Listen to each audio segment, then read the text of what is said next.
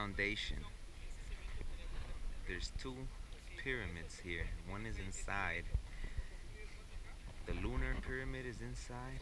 The one you see is the sun pyramid. And this is like your um, uh, sewerage system. So it won't flood with the built-in foundation.